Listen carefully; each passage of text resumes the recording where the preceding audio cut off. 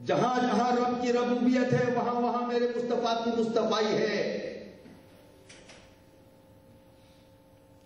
अगर न्यूजीलैंड का रब अल्लाह है तो न्यूजीलैंड के रहमत रसूल अल्लाह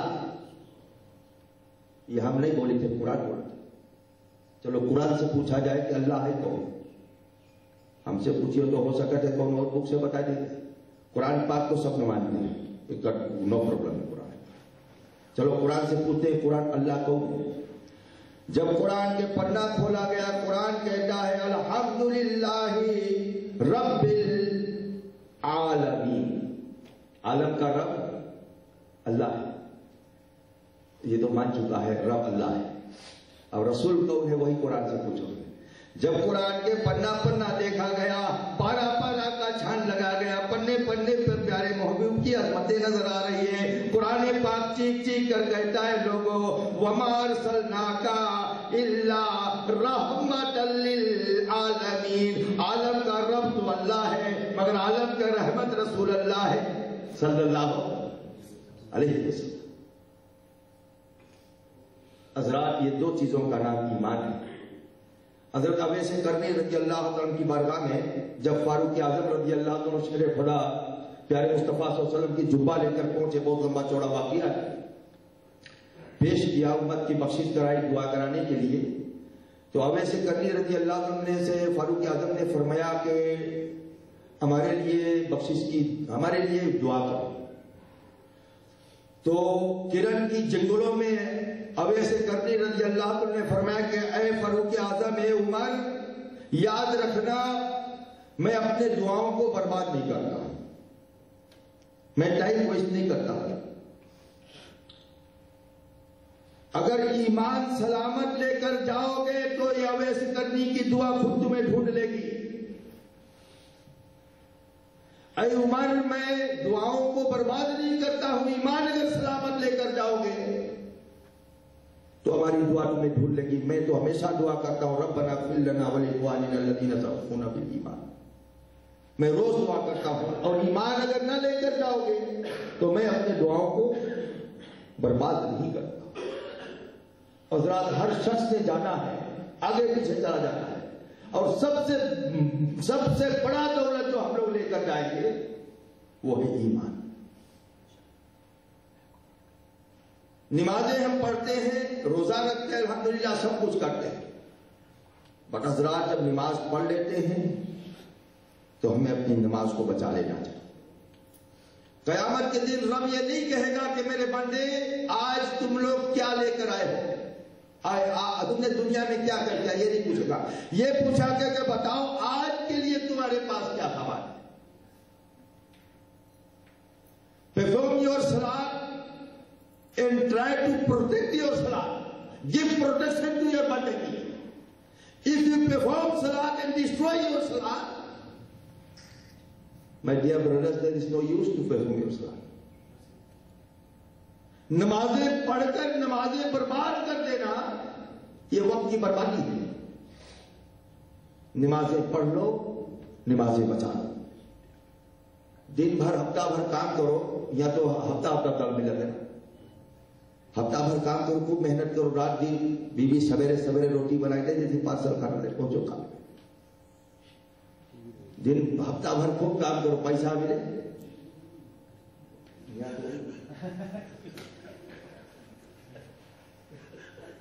अल्लाह हफ़्ता भर खूब कमाई, मेहनत करो, रातों दिन रखो। पैसा मिले, बाज़ार में गवाए घरे चले आओ। बीवी समझाएगी खूब कमाओ, हफ़्ता भर खूब कमाओ। घर से निकलो, सवेरे सवेरे चले जाओ खूब कमाओ, मेहनत करो। हफ़्ता बाद जुमा करो जुमा पे लगे जाओ जुमा शाम के घरे पहुंचो, जेब खाली, बाज़ार में सब गवाएगा घरे पता चल जाए हफ़्ता भर कमाया कमा दिया, घर में कुछ लाया नहीं। प्यारे रब ताला शानों ने दुनिया में पैदा करवाया हफ़्ता भर नमाजें पढ़ो, ज़िंदगी भर नमाज़ पढ़ो कमाए चले गए, जो कबर में तो का काफ़ी आता है और नमाज़ कैसे गंवावा जाता है? यही पढ़ो, यही बर्बाद करके चले जाओ मस्जिद है इसे मेरे प्यारे मुस्तफ़ा सल्लल्लाहु अलैहि वसल्लम ने इरशाद फरमाया कि मस्जिदों के अंदर दुनिया की बकवास करना, इबादतों को ऐसे ऐसे बर्बाद कर देते हैं। लोगों, सूखी लकड़ी लेकर आओ, आग के अंदर डाल दो। जिस तरह वो आग सूखी लकड़ी को तबाह बर्बाद करके खाक में मिला देता है, इसी तरह तुम्हारी बंदगी दुनिया की बकवास मस्जिदों में बर्बाद कर बताओ, कौन दिन ऐसा बाकी है कि मस्जिद में दुनिया की बकवास नहीं होती ये हम बढ़ते बढ़ते तस्बी वालों को भी देखे। तस्बी हाथ में लिए पगड़ी बन रहा है। तस्बी चलत है इधर रफ्ता और दुनिया बात होकर घर के बाद घर। आप नहीं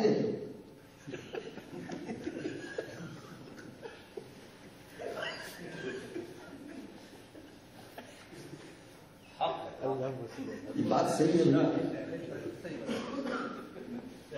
अल्लाह ताला सारी ज़िंदगी हँसते हुए ईमान के साथ इश्क नबी में ज़िंदगी सफ़र तय करें। ऐसे ऐसे नहीं बताइए तो इबादत बताइए कैसे देखो बाकी है भैया उर्दू इतना ज़्यादा हम नहीं पढ़े लिखे लंबा लंबासा करनी है पहले समझ चुके आप। सही बात जो है बात जो है दीन के अल्लाह समझ दी से वही समझाने की कोशिश कर रहे हैं। कि अल्लाह ताला समझ रहा मुफ्ती साहब कहते हैं कि वही बोले, कल से दे छेड़ रहा है। ऐसे शुरू में कई दिन बात करता रहा। अभी हमारे भाषा में बात करेंगे शुरू में। तो बोले, मौलवी साहब, यही भाषा बोलो।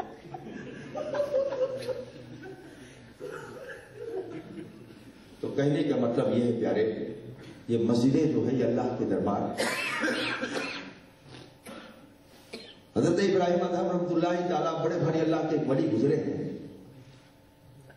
अपने टाइम पे ये कोर्ट हाउस में एक हाकिम थे जज थे बादशाह थे। और इनके जो खानदान है शाही खानदान है जैसे ये सब फिजी गर्मी तो नज़र आवत है फिजी में एक रातू खानदान है। सही सही। वो के घर में चाहे वो लंगड़ा बच्चा पैदा है वो हम रातू होता है कि नहीं?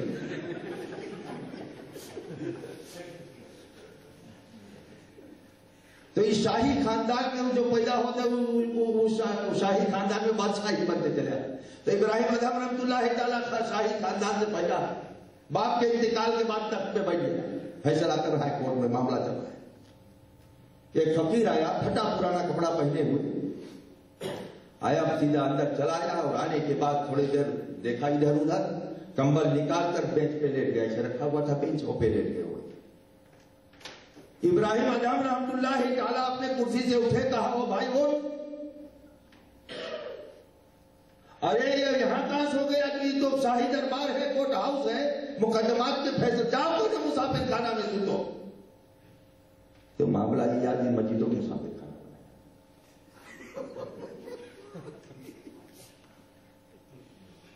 उठो जाओ, किसी मुसाफिर खाना में सो दो शाही दरबार है, फकीर उठा ये सच्चा वाक्य है।